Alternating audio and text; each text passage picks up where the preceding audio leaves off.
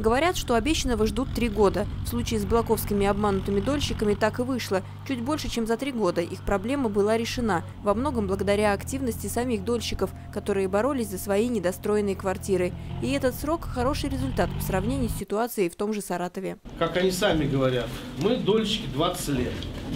Вот им дали земельный участок, там что-то построили немного и уперлись, что э, вокруг полно частных, э, частного жилья. И эти частники не хотят уезжать.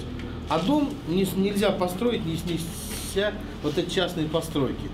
Государство им говорит, губернатор, коллеги, давайте, у вас тут еще пока стройки никакой нет большой, экономики не получается, потому что стройка встала, вот, а те частники большие деньги за это просят, давайте мы вам дадим новый участок, где есть хорошая экономика, там, да, то есть э, строители готовы за это взяться. Нет, мы 20 лет ждали, мы отсюда никуда не пойдем, будем еще столько ждать. То есть уже для каких-то вещей для каких-то вещей, конечно, нужно искать разные способы и механизмы. Поэтому хорошо, там вот организовано, и сейчас ЖСК организовано, и с дольщиками работают, разные случаи есть. Поэтому вот у вас то, что здесь совместными усилиями сразу вышли на такой результат. Да? Фактически у нас Песной начал первый строить. Строительная компания Леонида Песнова возвела дом для дольщиков за год. Причем не по проекту обанкротившегося Саратов Гастроя. Но при этом все получили квартиры согласно вложенным в строительство средствам. Соседями дольщиков станут переселенцы. 121 квартира, да? А здесь получается у дольщиков 70 с чем-то. 73 квартиры. 73 квартиры, да, и на будущий год тебе остается еще Еще столько же. столько, да? Ну, хорошо. Чуть больше. Хорошо.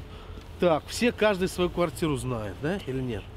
Ну, заходим делили или по возможности, Вы как, заходим. барабанами, да. не барабанами, Не-не-не, ничем? никаких По барабанов. метражу? Нет, у нас, во-первых, э, половина квартиры была куплена у Саратова Гастрой. И вот те, кто именно в этих блок-секциях купили, они на своих местах и остались. Ага. То есть э, убрали первый и шестой подъезд, но так как этих подъездов э, не стало, то Ага, мы ага. сюда заселили вот с этих, с первых и шестых, Ага. которых не существует. В Понятно. приоритете был этаж, квадрату, ну, квадратура, Ага, этаж, ага. рас- расположение. Ага. То есть все это учитывалось. 25 декабря дом будет сдан в эксплуатацию. Но уже сейчас все коммуникации к новому строению подведены. Даже окна открывают, чтобы ну, вытяжка была, потому что он тут сварные работы ведет, да?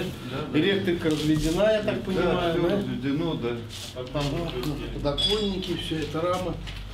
Все это понятно. Ну хорошо. Депутат Госдумы Николай Панков отметил, что в Саратовской области проблема обманутых дольщиков сложилась искусственно, намекнув на действия прежних руководителей региона, выходцев из Балакова. Все, весь строительный комплекс, я думаю, винит руководителей, которые были в Балаково, возглавляли область. Что получилось? Когда ваши э, представители а, в Саратове, а у вас был и ГУКС ваш, и имущество ваше было, это же все были а, жители Балакова, возглавляли вместе с губернатором, то дошло до того, что все строительные организации были выдавлены со строительного рынка и ушли в строительство частного жилья. А на социальных объектах работало только две организации. Стройэкс и Саратов. Других организаций на территории области не пускали. Таким образом, строители, которые строили жилье, понастроили его избыточное количество, взяли кредиты, жилье построили, и жилье коммерческое, по- потому что оно дорого стоит, не было востребовано жителями. То есть а его никто не купил. И строители оказались в банкротстве. У них не оказалось возможности иметь а, значит, а, свободных ресурсов. У них оказалось, что банки не дают им кредиты, потому что они их набрали, а дома не вернулись. И таким образом получилось, что с приходом федеральных каких-то объектов в область их не, мож- не могут тяжело построить. Сейчас ситуация в сфере строительства начала меняться. Дома обманутых дольщиков достраиваются, люди получают долгожданные квартиры. Вот и в Балакове совсем скоро в новом доме будет новоселье. Также в микрорайоне планируют развивать инфраструктуру. Мы это все делаем, а вот э, школа, где у них детский садик, вот как мы привязаны вообще к объектам соцкультбыта, или просто мы дома строим и все. Нет, вот как раз э, в связи с тем, что вы выбили для Балакова детский садик, у нас тоже Ага. так два места.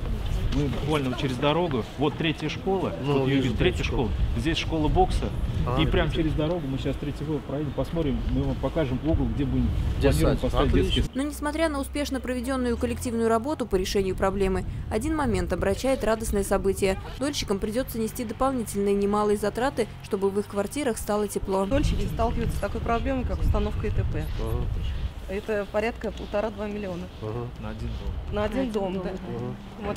Может быть, э, Палты Плюс будет Может, такими. надо встречаться Да, давайте да. встречайтесь. У них пилотный проект был намечен на 51 дом. Встречайтесь, да, да, Но да, как бы это да. не состоялось, я думаю, может быть, они нас будут рассматривать как пилотный проект. Да, и Думаю, Николай Васильевич, ну а смотреть. мы вообще как дольщики, как бы если даже Ага. в дальнейшем будем рассматривать строительство ИТП, но это, конечно, по сердцу ножом, одним словом, мы Мгм. еще столкнулись с такой трудностью, что точка ввода у нас уже существует на сегодняшний момент с четвертого подъезда, Ага. и тепловой пункт установлен у нас в четвертом подъезде, но ПАО Т плюс рассмотрела, якобы ссылаясь на свои проектные документы, делали точку врезки у нас в первом подъезде. И, соответственно, инженерную сеть я должна полностью перестроить. Это вообще колоссальные будут деньги и колоссальные затраты.